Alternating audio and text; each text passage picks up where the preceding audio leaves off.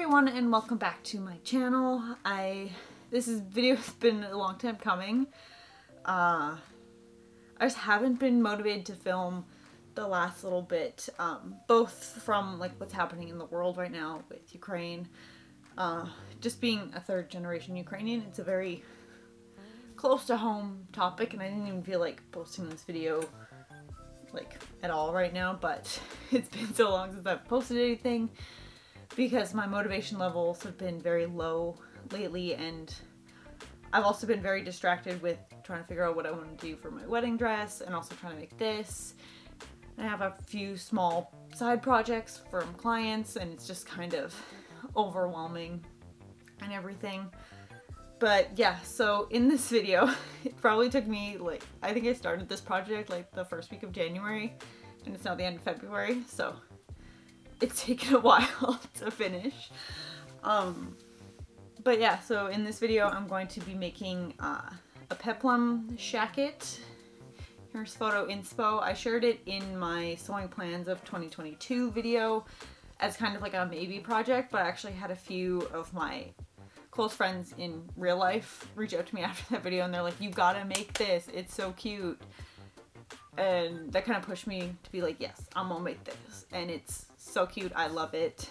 So yeah, let's hop into this very lengthy video because it took a long time to make it actually, um, just like the actual process of it. Um, but yeah, let's hop right into it and yeah, let's make a shacket. Even though the world's not doing the greatest. But we can still make clothes as a coping mechanism. Let's get into it. Hello. Welcome to the cutting table. It's not finished yet, but it's a standing table now. I just have to stain and kind of finish the edges at the top, but we're gonna work on pattern hacking this pattern from Mood Fabric. And yeah, I'm just gonna put you on a little time lapse while we hack this pattern. So basically what I'm gonna do is trace the two pieces that we're hacking, which is the front and the back, and then cutting them out and then modifying them from there. Cool.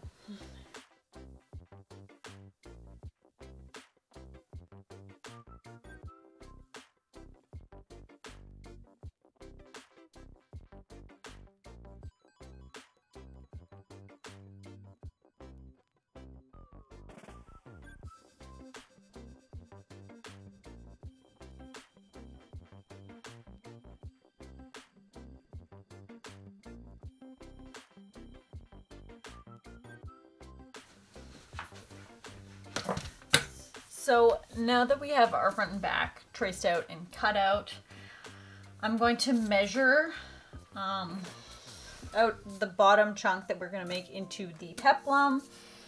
I haven't decided how far down I want to go. I will have to measure that and get back here. But yeah, so we're going to basically measure down from the armpit because these sides should, yeah, they line up, so in length which is the good pat, which is a good pattern. So we're gonna measure equal amount on both the front and back and just chop it off. And then we'll do some tweaking to the bottom pieces. Okay, I think I determined I want to do seven inches down, roughly, because once we deal with seam allowance and stuff, it'll probably go up a bit. And also, like, I don't know how deep this is gonna sit in my armpit. So we're gonna go with seven. We can always shorten it. And it's most likely going to be longer. So we're going with seven.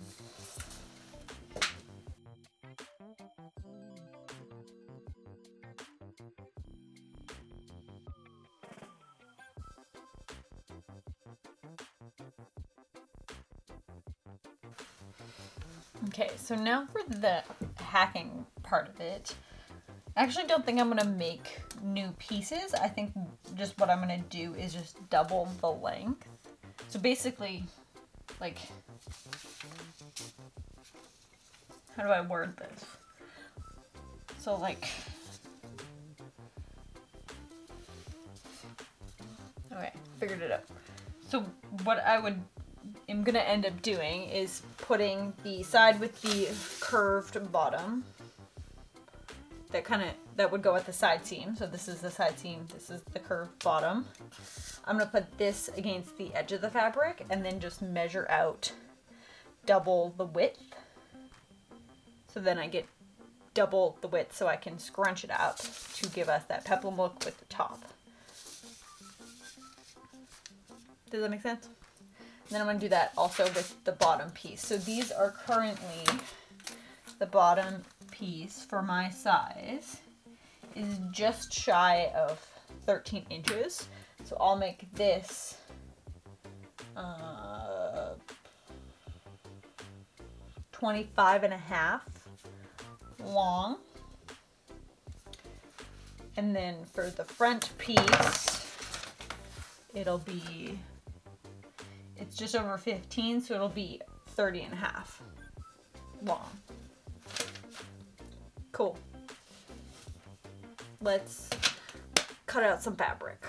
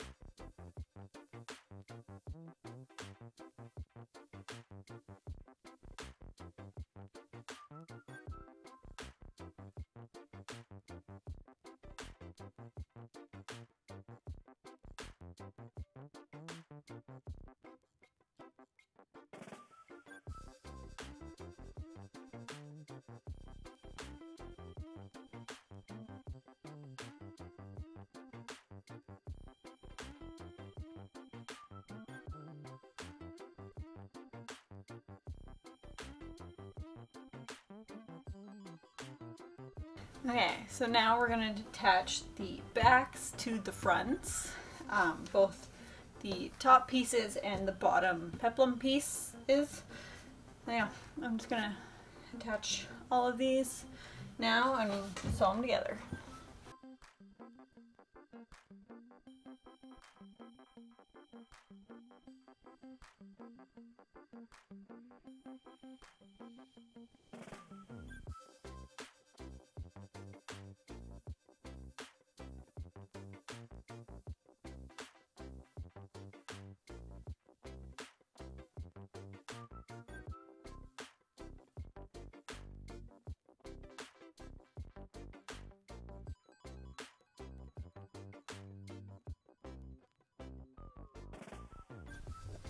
I want to show you that I have a little sewing buddy today in the sewing room.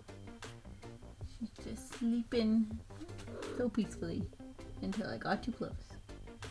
Okay, so now that we have our bottom part of the body and our top part of the body, we now have to um, gather the top of the bottom piece. So the side that doesn't have the like swoops so we're going to put a row with of basting stitch, which is the longest stitch length your machine does. And then we're going to gather it up and then pin it to the top half.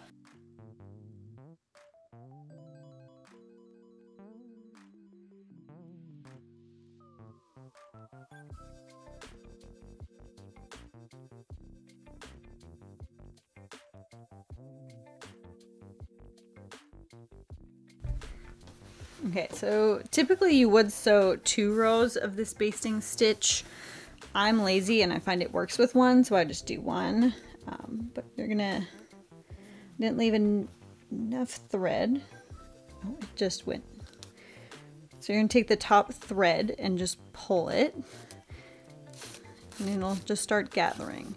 And then on the other end, you knot the ends of the thread together so that it doesn't pull out the stitches completely. So yeah, we're just gonna gather and scrunch. and yeah, the whole reason that most people will do two is it does give a more even gather, but I find this works. So that's what we're gonna do.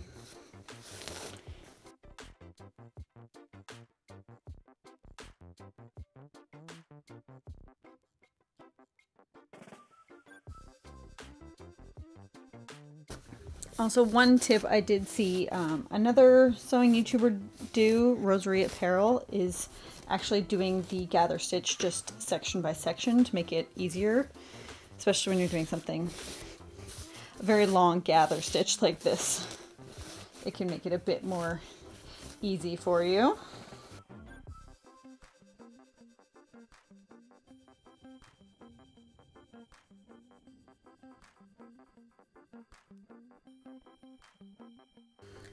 So now that I've gathered it to about the right length, we're going to pin it on now, right sides together, lining up our side seams, and then just making sure the gathers are uh, even.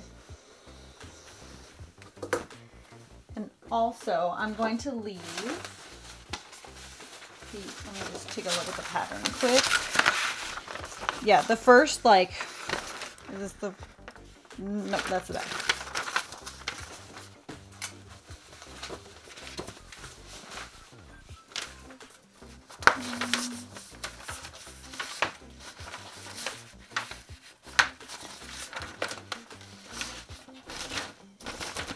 Yeah, so I'm gonna leave the first, this, the first little bit of the front of the bottom layer just so we have a smooth finish for um, the facing just because we don't want that part to be um, all gathered. So I'm to measure that just to make sure I don't gather, um, yeah, two, the first two inches.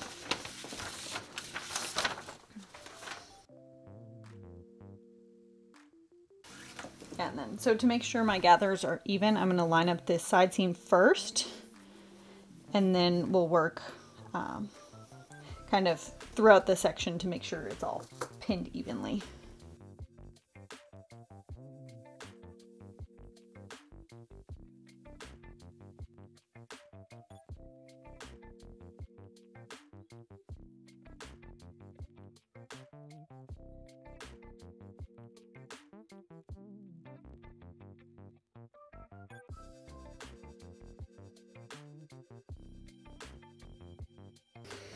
And so for the back, since it's such a long piece, I'm gonna find the center marks and I'll pin that down first.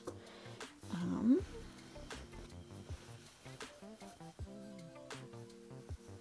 it's kind of hard to find when it's gathered, so I'm going based on the um, bottom edge that's not gathered.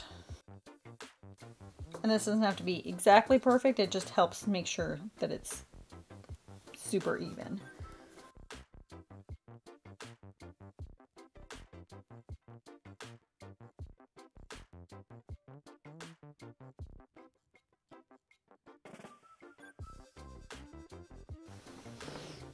Now we just stitch it up.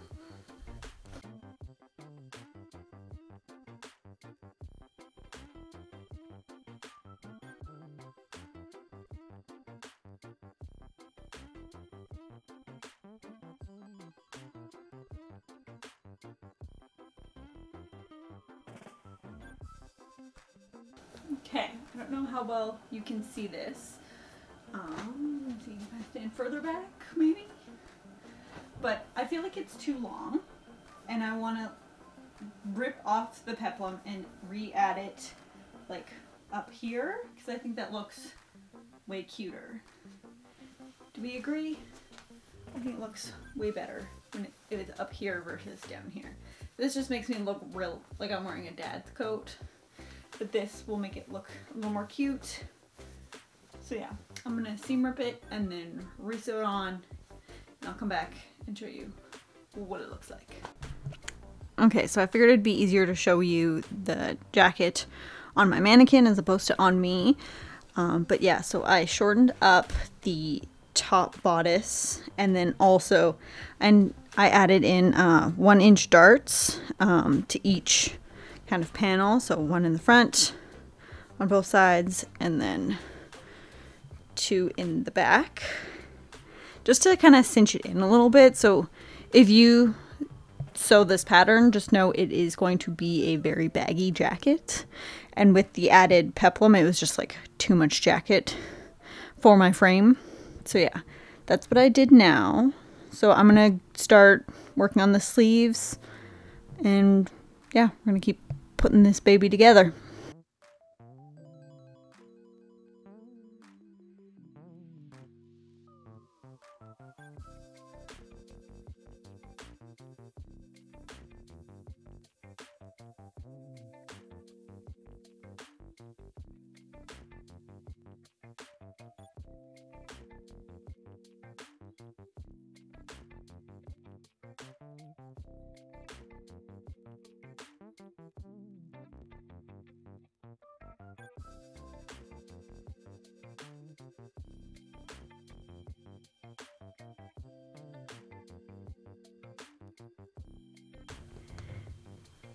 Okay, so now I'm going to press open the seams so they're flat. And with the little like flap chunk piece, I don't know how to describe it, but you can see how it goes out. We're gonna press that flat as well, and then we're gonna stitch kind of up, over, and down to make sure those display open.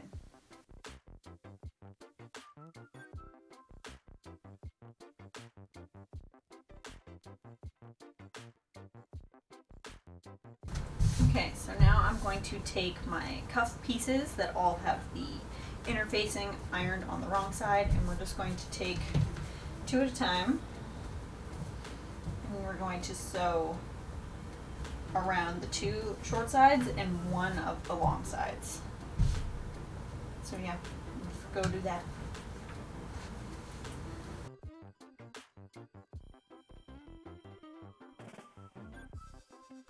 Okay, so now we need to sew a gather stitch around the bottom hem of the sleeve. So I'm just going to do that right now.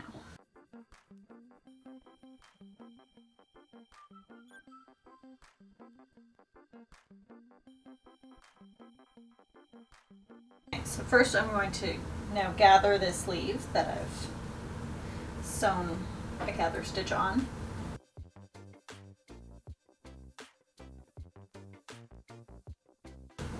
Once it's gathered to match the length of my cuff, then we'll just pin it onto one side of the cuff, not both. Um, this way we'll just get a cleaner edge. So yeah, we'll do right sides, right sides for the cuff. And you won't need to gather too much.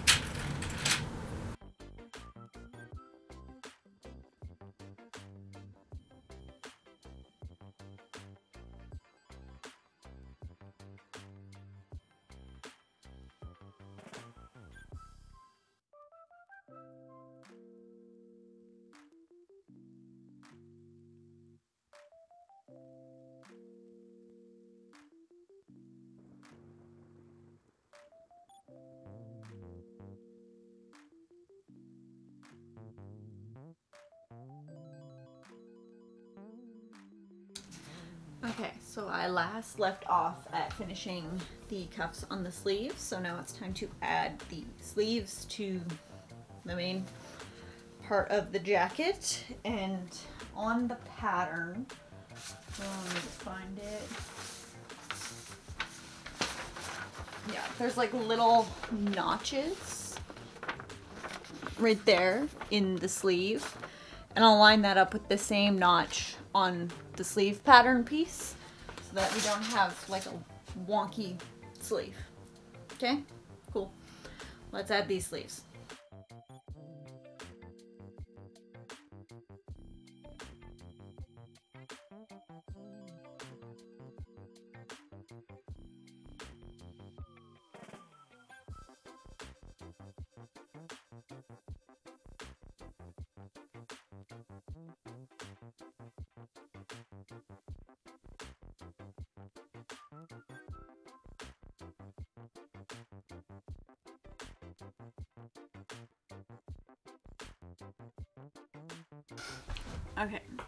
So those sleeves were a nightmare to just pin onto the jacket. I think I might have cut out the wrong size of sleeve for the size of body or my seam allowance was very inconsistent.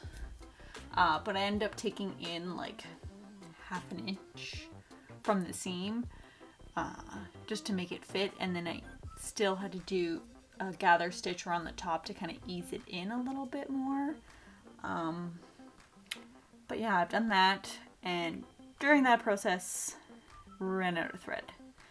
So I'll be back because I can't finish this tonight unless I switch to a different color thread, which I don't want to do. So yeah, that's it for me tonight. I will see you in the next clip, which who knows how many days away that'll be. Morning. So I got more thread. So now let's attach these sleeves.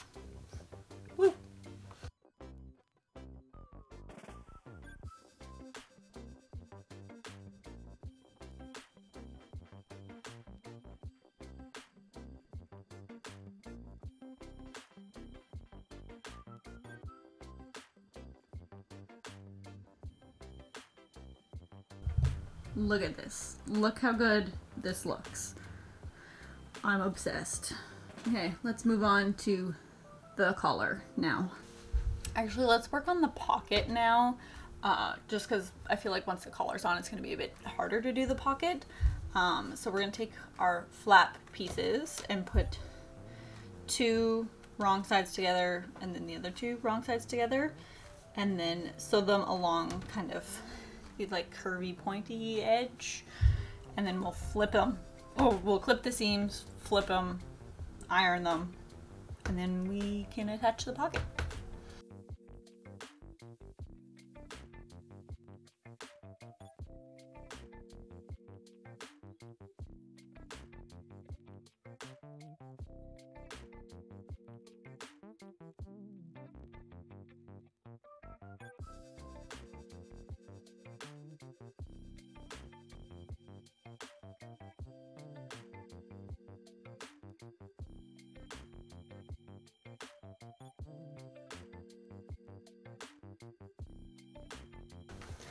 Okay, so here are my pressed pocket pieces. So you can see they, all the edges are pressed and this top edge is hemmed and ready to go.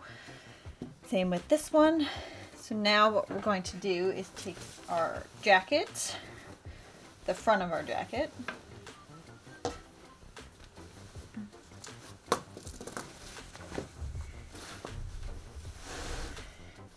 And so I have already pressed kind of my front seam. So we're just going to put the pockets kind of in the center.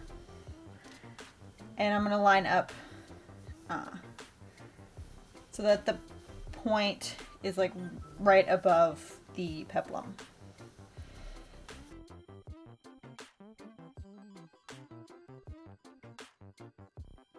I feel like these pockets are really large. Like I feel like they could be like this big and it would look way better. Yeah, that looks way better. I'm just to actually just fold that down and then leave it as is.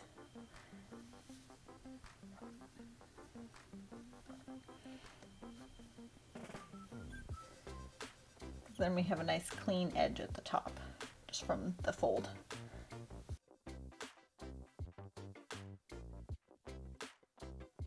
And I'm also going to put, uh, line up my flap to be right at the top of the pocket.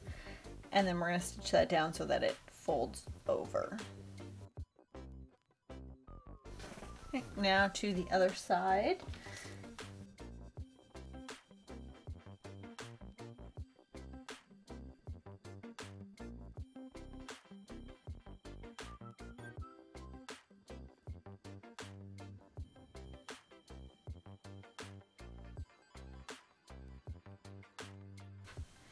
Okay, so now we just top stitch all the way around the pocket except for the kind of open edge and then top stitch down the uh, flap.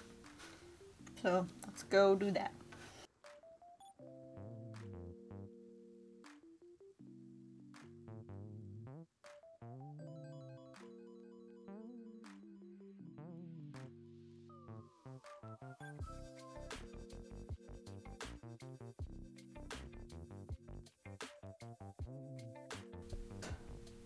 Here are the finished pockets. They look pretty cute. And yeah, I think if you weren't doing like the peplum style of this jacket, the regular pockets would be fine, but yeah, they were just way too big. They're going like almost to the collar, which like no one needs a pocket that high. But yeah, I think they look really good. Okay, so now for the collar pieces. Um, we're gonna take them, put them right sides together. The underside has some interfacing. Um, so we're just gonna line them up and sew them together. And then I'm gonna leave a small gap, about this big, um, in the bottom part of it. Or actually, let me double check the instructions before I tell you what to do. Okay, I'm back after checking the instructions. So we're just gonna sew from kind of these corner pieces down and then to the center. We're gonna leave this whole side open so that we can kind of like hide all the um, seams and raw edges. So I'm gonna sew here and then we'll come back and attach it to the jacket.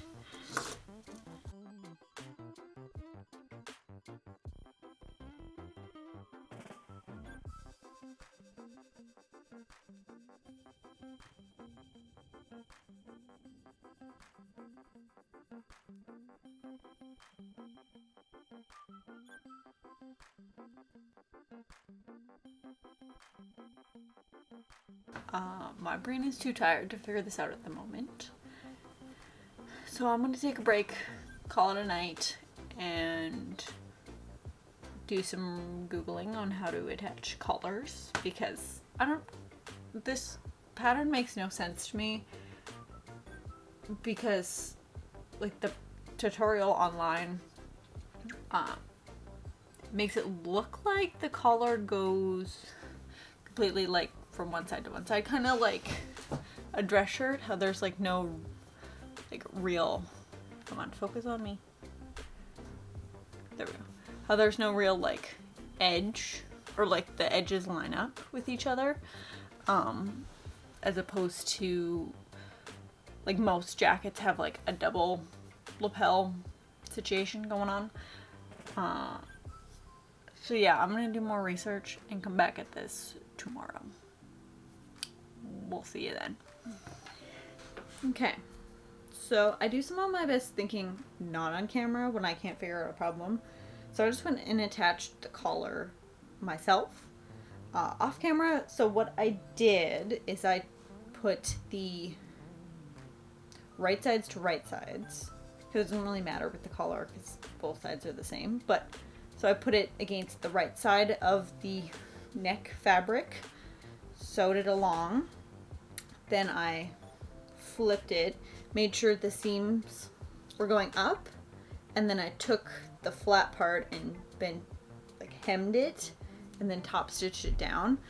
And then with the kind of like little bit of the lapel that was left I kind of just stitched it down in place um, with a clean edge.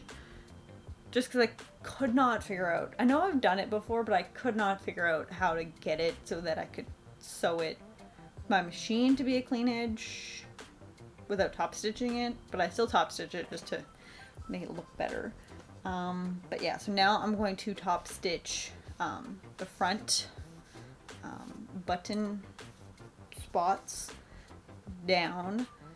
Um, and then we're gonna figure out the hem because I'm stupid and cut out the hem facing per pattern, not thinking that I'm doubling the length of the hem. So we're actually going to take that piece I cut out um, from like the waist of the peplum earlier to complete that facing. And yeah, so I'm just probably going to put you on a bit of a time lapse while we figure that out.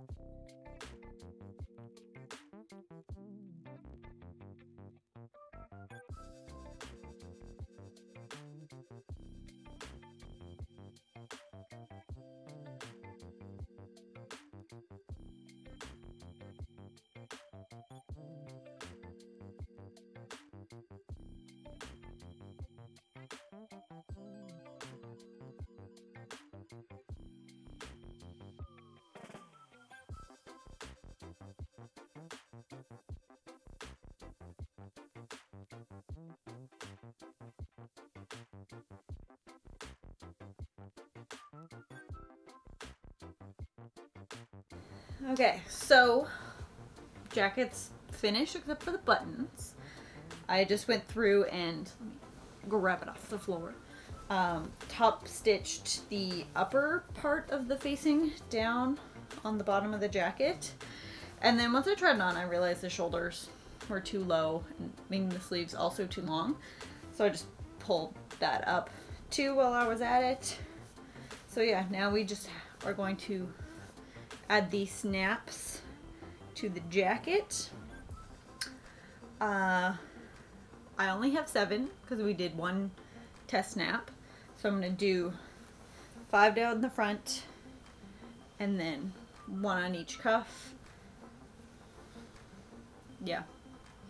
So I'm going to do that off camera because we have to do it in our very ugly, ugly, ugly laundry room. But yeah, I'm going to come back with the final jacket here let's finish this.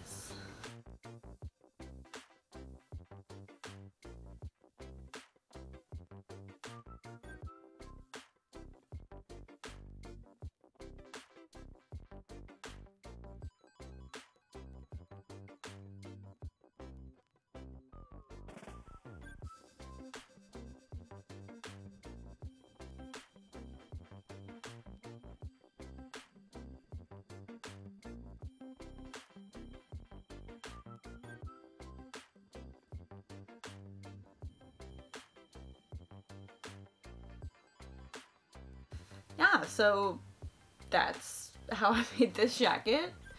Um, yeah, I don't know much more to say, but yeah, that's it for me today. You've probably sat here for a million hours already watching me, but yeah, I hope you're all doing well, staying safe, and praying for this whole war situation to go away. I don't usually talk politics, but it's just so close to my heart and many people close to me. So, yeah. I will see you in the next one. Bye.